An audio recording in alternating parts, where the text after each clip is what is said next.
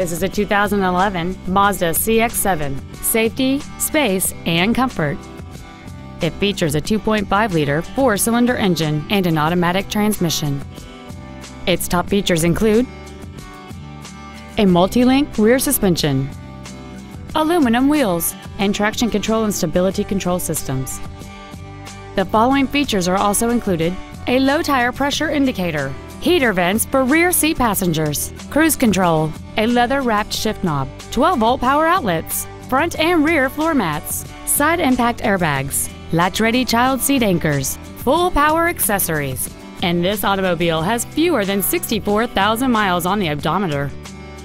With an EPA estimated rating of 28 miles per gallon on the highway, you won't be making frequent trips to the gas pumps.